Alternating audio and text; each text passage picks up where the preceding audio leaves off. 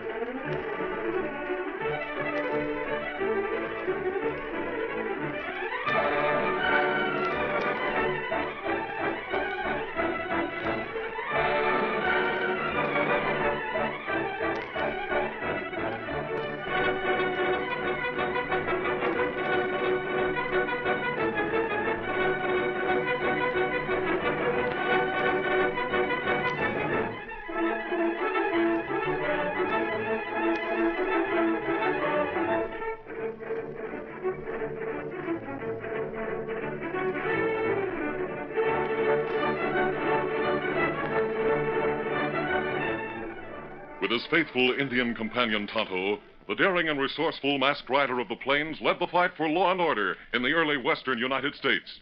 Nowhere in the pages of history can one find a greater champion of justice. Return with us now to those thrilling days of yesteryear. From out of the past come the thundering hoofbeats of the great horse Silver. The Lone Ranger rides again. One, Silver! Uh, let's go, big fellow! Hi-yo, Silver!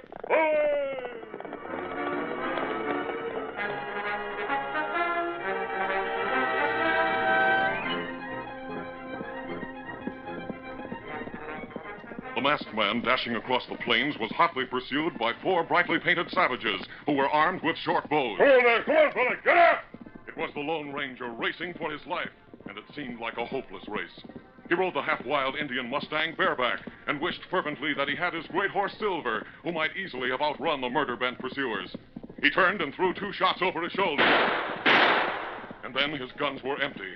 He started to reload while riding the plunging Mustang. The Indians were cutting down his lead. He heard their savage cries and knew that capture was a matter of seconds. If the end must come, he would at least die fighting. He reined up sharply. Whoa, whoa, whoa! Leaping to the ground, the masked man tried desperately to load a gun in the scant seconds that remained. Then help came from an unexpected source. Shots rang out from beyond the underbrush that rimmed a nearby gully. The Indians halted and cried out in surprise. The reprieve was all the masked man needed to thumb cartridges into one of his heavy guns. Then he too opened fire. Oh, that did it. Thanks for the help. Did you come out so I can see you? I'm coming, mister. It'd have had me in a few seconds if you hadn't opened fire. I could see that. I didn't. Masked, huh? Yes, but It's I'm all not... right with me, mister. As long as you're not a rancher. And I take it you're not. No, I'm not a rancher. I sure admire the way you rode that Mustang. Bareback at that. oh, but I can't say much for your shooting. You let all four of those redskins get away. Well, what about yourself? Me? I'm a farmer. I'm more at home with a plow than I am with a rifle. But you look like a man that ought to. Well, I wouldn't expect you to miss at such close range. I fired over their heads. I didn't want to kill those Indians. Why not? Because the Indians will attack soon enough as it is. Killing a couple of them might bring the attack before the people south of here can be warned. Warned. Yes, an attack is coming and very soon. How do you know? Well, Indians have been migrating from all over the territory. They're assembling in a valley north of here. They're going to go on the warpath. You know this for a fact? I saw them. Oh, you did, huh? How was it you're riding a horse like that, and bareback? Well, I left my own horse in a camp quite a distance from here and traveled on foot all night so I could scout those Indians with less chance of being discovered. Looks like you were discovered anyway. I was lying on a ridge overlooking the valley. Five Indians closed in on me. I managed to fight my way to one of their Mustangs. You must have had quite a fight. Now, let me see. There's a cut on your chin, one on your ear. Your shirt is torn. A tomahawk missed me by a fraction of an inch. Mister, you'd better come back to my place and let Mary wash those Oh, cuts. they'll be all right. You sure those Indians are going to attack the settlers? I think so. How soon? They'll wait till they're joined by other Indians. Oh, maybe a week, possibly two weeks. And I reckon we won't need to worry about the Indians. How's that? We'll be licked by the cattlemen before the Indians get to us. What do you mean? Ah, the same old story, mister. The cattlemen don't like nesters. They resent the fact that we've homesteaded and fenced ground they used to use for range. That's the reason I was up here today with my rifle, when I should have been back at the farm cultivating my crops. Oh, what do you mean? Food. Oh. The store in town won't sell anything to farmers. If we want to eat, we've got to hunt. And doggone it, as you saw, I'm no hand with a rifle. I can hardly hit the broadside of a barn, let alone pick off something like that wild turkey over yonder. Perhaps I can help. You got him. A great day, mister. You drilled that critter neat and with a six gun. oh, if Mary and I could have you around, I reckon we wouldn't go hungry. Go get your turkey. Why? Well, a small return for saving my life. Look here, mister. I don't care who you are or what you are. You're all right with me. My name's Tom Hanford. Glad to know you, Tom. You know, uh, I'd like to hear more about the trouble with the cattlemen. And come back to my place. Help eat that gobbler you just drilled, and while you're there, we'll fix up those cuts. All right, Tom. I'll go with you. On the way, we may be able to find another bird or two.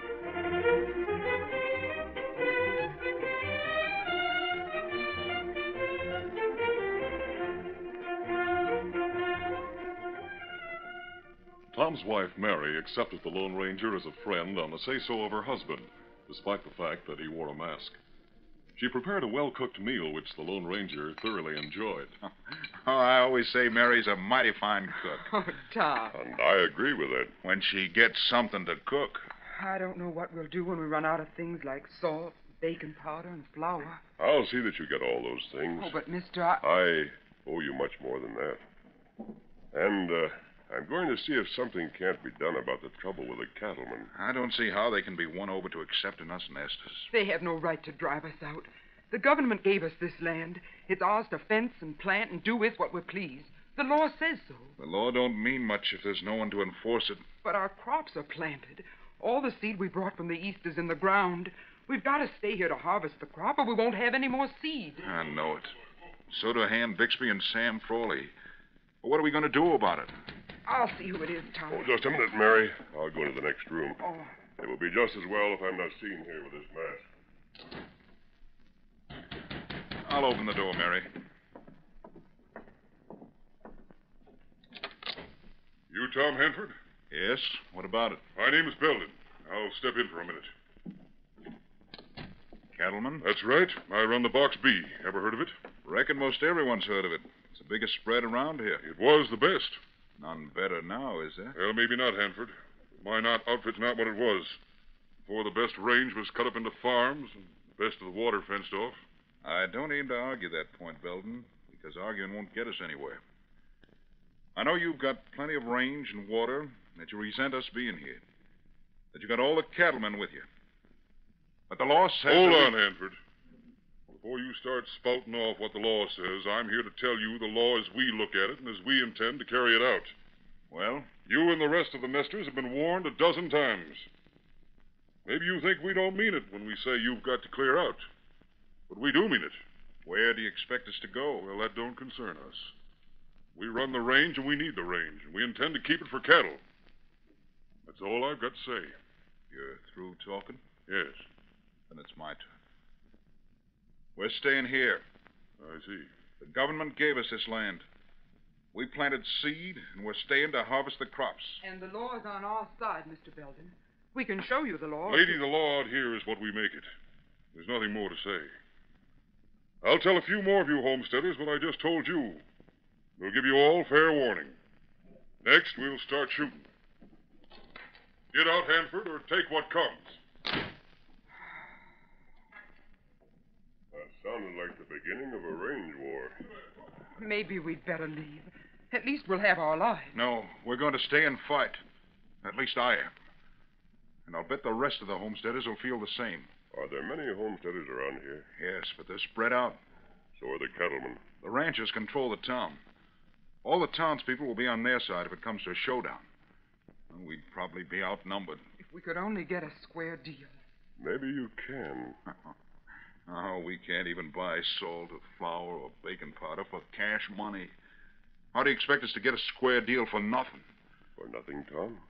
I wouldn't say that. Well, I. You're going to pay for your square deal by making it possible for other homesteaders to come here and settle. For this whole great country to grow and develop. I'll see you again. I have a saddle that might fit that Indian Mustang you're riding. I haven't far to go. I'll ride bareback until I reach my camp. Thanks, Mrs. Hanford, for a splendid meal. Gosh, Mary. What do you make of him? I don't know, Tom. But somehow I feel he's a mighty good man to have on our side, even though he does hide his face behind a mask.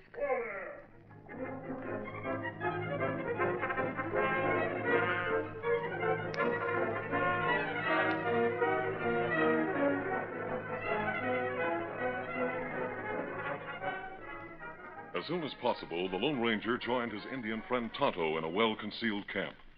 He told about his adventure of the morning, the impending trouble with the Indians, and the threats of the cattlemen. I have an idea.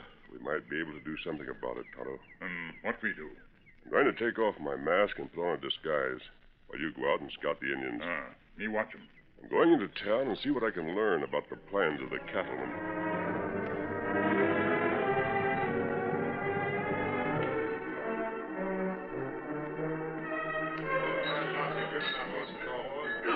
In town, the Apache Cafe was the scene of an informal meeting of a number of ranchers.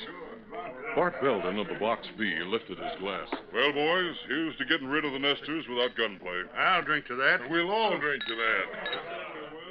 No one noticed the stranger who sauntered casually into the large room and watched the drinking of the toast. I'd sure hate to shoot men like Hanford or burn down his house. We'd all hate to do it, Bart.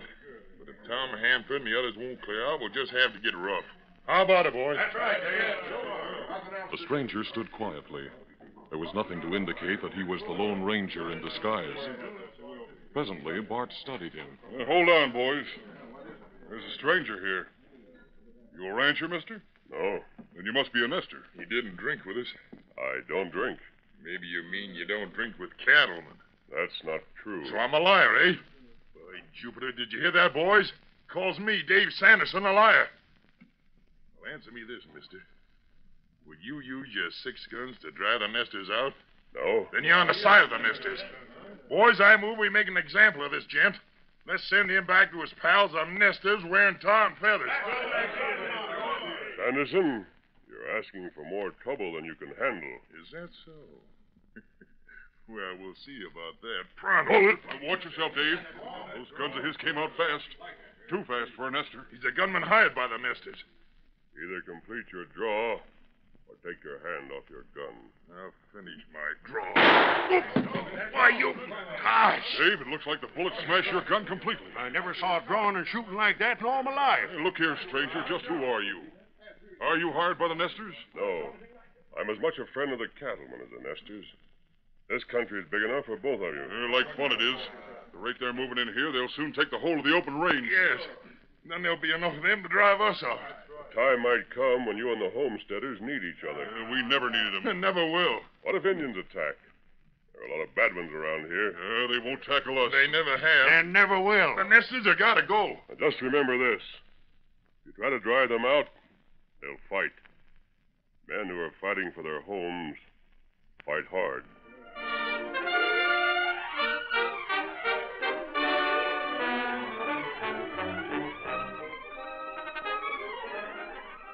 Curtain falls on the first act of our Lone Ranger story.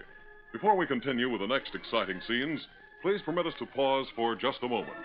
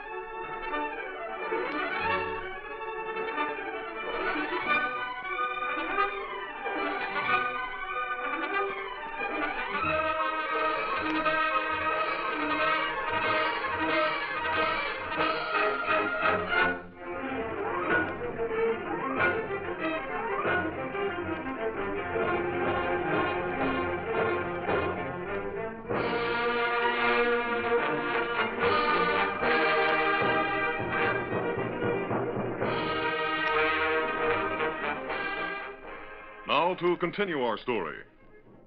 The ranchers were holding a meeting to make plans for driving out the homesteaders. They didn't know that a stranger in their midst was in reality the Lone Ranger, wearing a disguise in place of his familiar mask. Some of the men looked on this stranger with suspicion. Boys, we've got to get down to brass tacks and make plans. Maybe we should get rid of this stranger. His ideas are different from ours. Well, he can hear our plans. If he wants to, he can pass them on to the nesters. Maybe they'll take warning and save themselves a lot of trouble. Now, here's the plan. First, we set fire to their houses, tear up their fences, and ride roughshod over their crops. Don't use guns unless they fire first. If they do, defend yourselves. But get this straight. There's to be no women or children shot. As for the men, shoot for their legs. Is that clear? How soon do we start? Tomorrow morning. All of you bring your men, your guns, and horses and meet right here in town.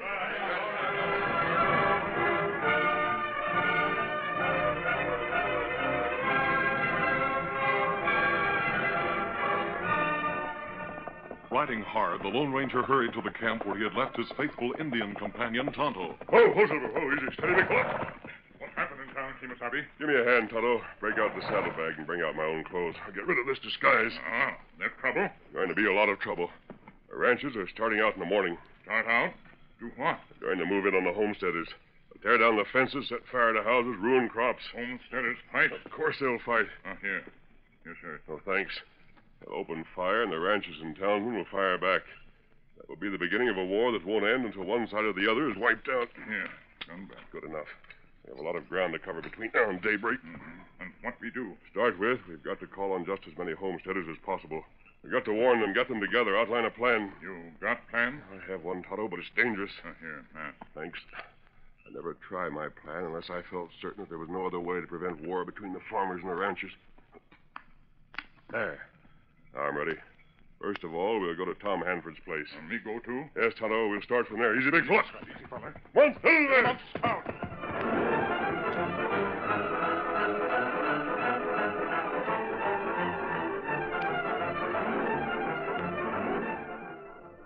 Look, mister.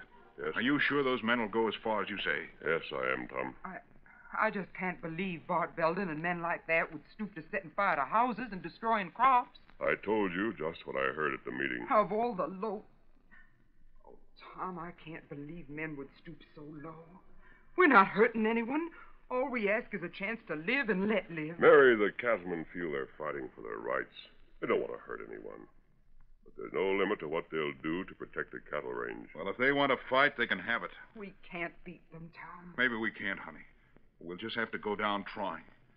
We can't give up our farms. There's no place for us to go. Tom, I told you about the Indians north of here. Yes. They make our position more hopeless than ever. Even if we could defeat the cattlemen, the Indians would massacre all of us. The sooner the Indians attack, the better. Oh, what do you mean? There's only one reason why they haven't already attacked. Why's that? More Indians are riding into that valley every day. They're waiting until they reach their greatest strength before they ride the warpath. And the longer they put it off, the stronger they'll be. Yes. Tom, I'm going to outline a plan to you. You must keep it to yourself. The other homesteaders mustn't know about it. Well, uh, You've got to trust me. what's your plan? The Indians are going to attack in the morning. The morning. But your friends mustn't know this. But you said the cattlemen would come after us in the morning. The Indians, too. Between now and then, we've got to ride and call on as many homesteaders as we can reach. Tell them to get together here on your farm and be prepared to meet the cattlemen. But the Indians. Say nothing about the Indians. Leave them to me.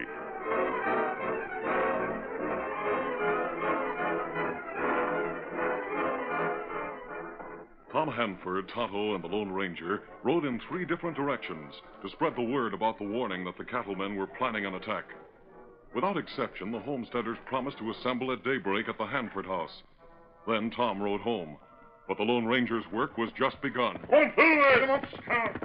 With Tonto at his side, the masked man headed north, toward the valley where the Indians were waiting.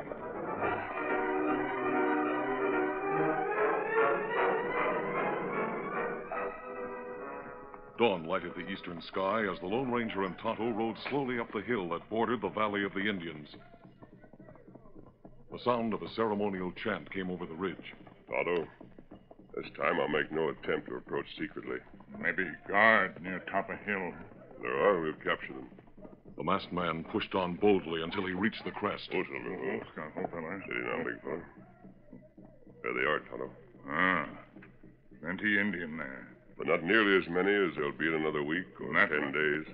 That's right. They're not nearly as savage now as they would be after going through the war dance ritual. Hmm, that's right. Strange. What that? We stand here in plain sight. None of the Indians have noticed us. The last time when I tried to get here secretly, I was discovered without delay. Well, we'll call ourselves the attention of those savages. You open fire? We're going to fire at the ground near the feet of the chief. Here goes. I got their attention. Call to them, Tonto. Tell them their war gods are weak. Pahuma, Kula! Looking up here. Shout again. Pahuma, Kula! Tell them the one who wears the mask defies them. Mekla, Kamu, Kushna, Sony Boom!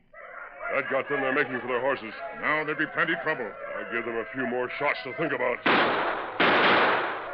Indian come plenty quick. Let them come. They'll not catch me this time. I'm not riding a bareback Mustang. I'm traveling on silver. One Get 'em up, Scout. The angry savages raced to their horses and charged up the hill after the masked man who had assailed them with shouts of defiance and bullets of silver.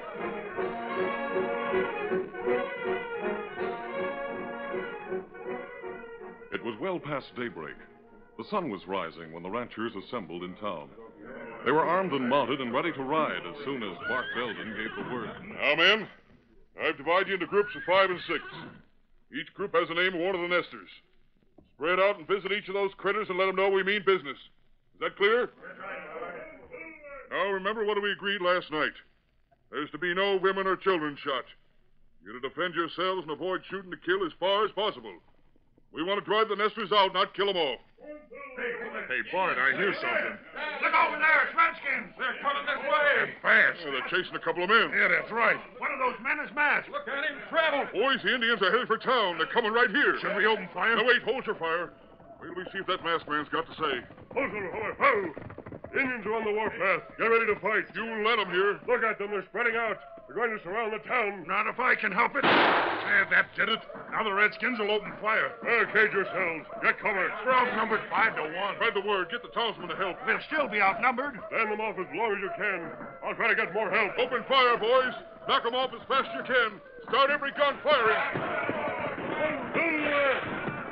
The ranchers spread out, taking refuge behind wagons, buildings, and anything else that offered protection. They were joined by the townspeople. Tonto remained to help in the fight, but the Lone Ranger dashed away, leaving the community before the savage Indians could complete the encirclement.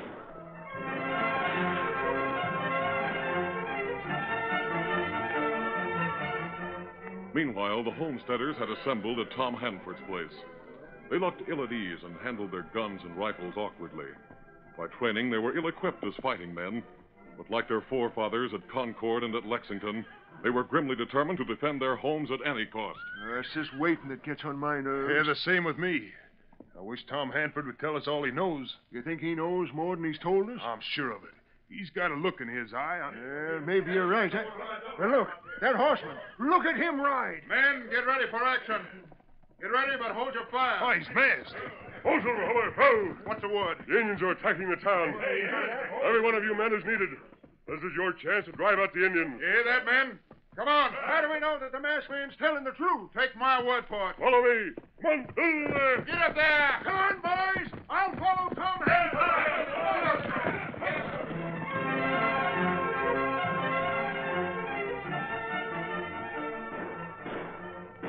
In town, the battle had become grim. The hard riding Indians drew an ever smaller circle around the community and the men who defended it. Ranchers and townsmen fought side by side, but all knew that the end was just a matter of time. Look, the fire arrows. They've been holding them till they got close. There'll be more in a few minutes. We're outnumbered too heavy. Oh, I wish. Save your wishing and keep firing. Dave, Pete, look over there. Horsemen coming. Those aren't soldiers. Who are they? They're firing. Look at that. They're firing on the Redskins. Hey, those are the nesters, the homesteaders. You mean they're coming to help us? That masked man, he's riding in the lead. See him? I'm watching the Redskins. Look at them. Their circle is busted. The Indians wavered before the new attack. Then, as the onrushing homesteaders, led by the Lone Ranger, opened fire, the savages broke and fled. The Redskins are leaving. Look at them. They're turning tail. Hold Silver, ho, ho! Get your horses and chase them. Drive them back to the hills. The Indian retreat turned into a flight, and then a mad scramble for safety. Ranchers, townsmen, and homesteaders were united in pursuit. They went after the savages, driving them into the hills and scattering them over a wide area.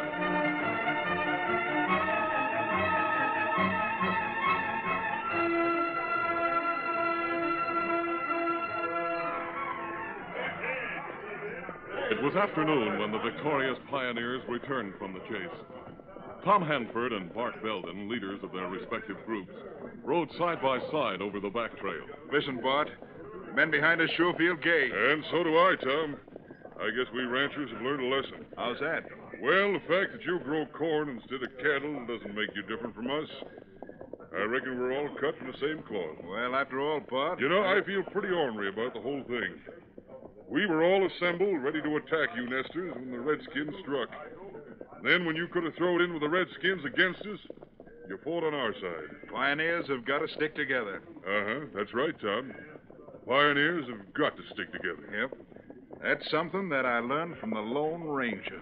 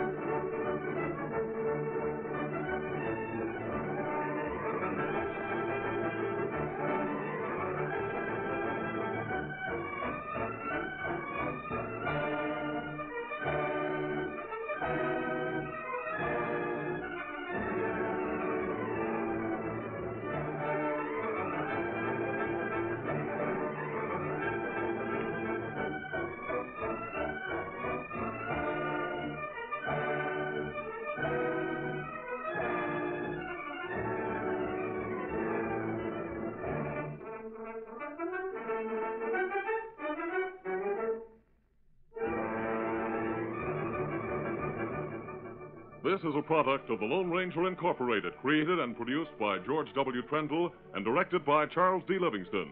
Tonight's story was written by Fran Stryker. The part of the Lone Ranger is played by Brace Beemer.